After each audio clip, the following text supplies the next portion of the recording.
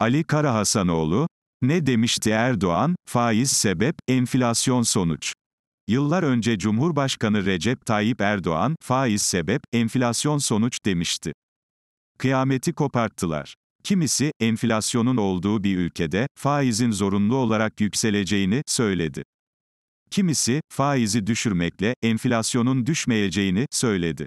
Oysa soru net, faiz dediğimiz maliyet, malların üstüne biniyor mu, binmiyor mu?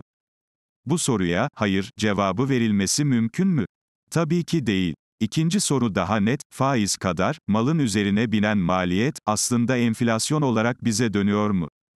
Bunun da cevabı net. Evet. Şunu söyleyenler çıkabilir. Faiz düşük olunca, insanlar tasarruf etmez. Tasarruf etmeyince de, talep fazlalığı oluşur. Talep fazlalığı da, enflasyona sebep olur. İyi de, Türkiye şartlarında, insanların tasarruf edebileceği bir durum yok ki, faiz düşük diye, tasarruf etmeyip, tüketime yöneldiler. Veya bir başka açıdan konuyu yorumlayalım.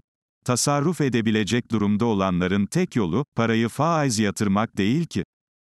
Dövize yatırırlar. Ki yatırıyorlar. Gayrimenkule yatırırlar. Araç sahibi olarak paralarını değerlendirebilirler.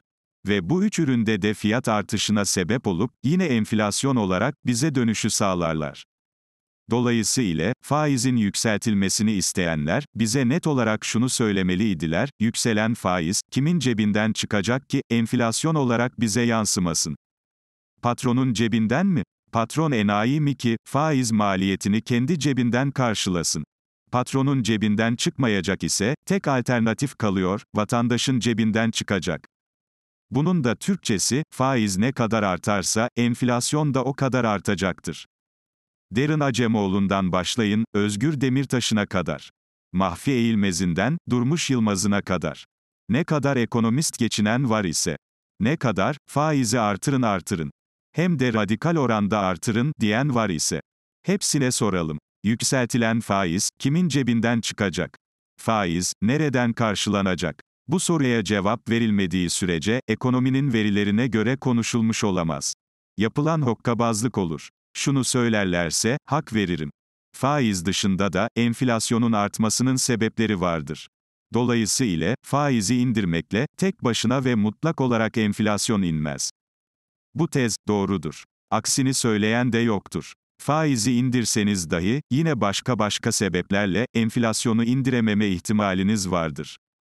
Ama Türkiye şartlarında, bu ihtimal, geçtiğimiz süreçte gerçekleşmedi. Tatbikatta faizi %8,5'lara indirerek, enflasyonu da %38'lere kadar indirdik. Yani, Erdoğan'ın tezi, gerçek hayatta karşılığını buldu. Ama, bu noktada kararlı duruştan, muhalefetin de baskısı ile vazgeçildi. Ve şimdi, faizi yükselterek, enflasyonu da tekrar %58'e çıkarttığımızda bir gerçek.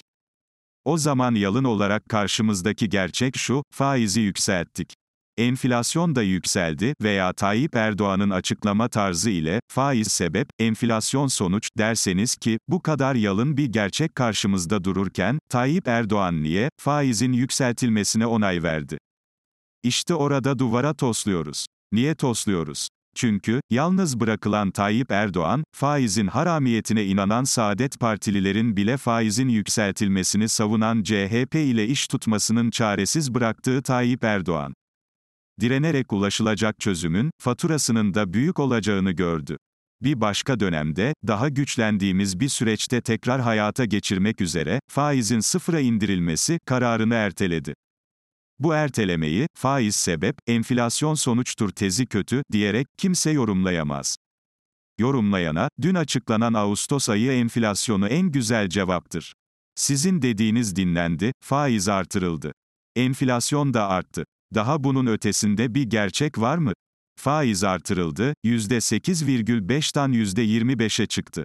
Enflasyon da 38'den 58'e çıktı. Bu kadar net bir sonuç karşımızda dururken dahi, faiz sebep, enflasyon sonuç tezi çöktü, denilmesi, utanmazlığın zirve yapmasıdır. Türkiye'de enflasyonun sebebi, talep fazlalığı olduğunda, hemen herkes birleştiği halde. Ne hikmetse, talep fazlalığını çözme noktasına odaklanmamız gerektiği halde. Israrla, faizi yükseltme ile çözüm bulma dayatması yapıldı.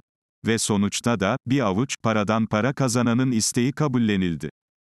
Ve ne yazık ki, bu olumsuz gelişmede payı olan Saadet Partililer, şimdi çıkmışlar, ne oldu, hani nas vardı, diyerek, adeta ayeti de araya koyarak, alaylı açıklamalara imza atıyorlar. Çözüm şu olmalıydı. Talebi karşılayacak arz artışı sağlanmalı, bu noktada yeterince sermaye yok ise, onun da dış yatırımlarla karşılanması başarılmalıydı. Nitekim, Baye ile yapılan görüşmeler, Suudi Arabistan ile yapılan görüşmeler, zaten bu yolda önemli adımlar atıldığını gösteriyordu. Enflasyonda en önemli hızlandırıcı olarak faizi düşük seviyede tutarak, yatırım amaçlı para girişinin sağlanmasında biraz daha sabır gösterilebilinseydi, bugünkü %58'lere varan enflasyon ile karşılaşmamış olacaktık. Ama gelin görün ki, 3 bakanlığı %5'lik bir partiye keşke çeken ana muhalefet partisinin öngörüsüzlüğü. Aynı partinin, önüne geleni danışman kadrosuna atayıp, sonra da, bizde danışman değildir, açıklamasında bulunması. Bir yandan kurumların tepe noktasındaki yöneticilerin altılı masa ittifakı ile atanacağı protokollere bağlanmış iken, masa altında bambaşka peşkeşlerle ülkenin yönetimine gelmek için karanlık ilişkilere girilmesi, maalesef Türkiye'nin politikasında bazı gerçeklerin ısrarla savunulmasını da önledi. Sabırla hareket etmemizin önünü tıkadı. Merkez Bankası bir ay önce, adeta dün açıklanan enflasyonun müjdesini, kendi açıklaması ile yaptı. Merkez Bankası, %58 enflasyon bekliyoruz, dedikten sonra. Piyasada başka bir sonuç beklemek mümkün mü? Onlar %58 dediyseler, yıl sonunda daha yükseğini bile beklememiz lazım. Yol yakınken, bu yanlış politikadan vazgeçilmesi beklentimizi dillendirelim. Aksi takdirde, para baronlarının iştahlarının her daim artacağını, %58 enflasyon ile, %25 faiz ile yetinmeyeceklerini hatırlatalım.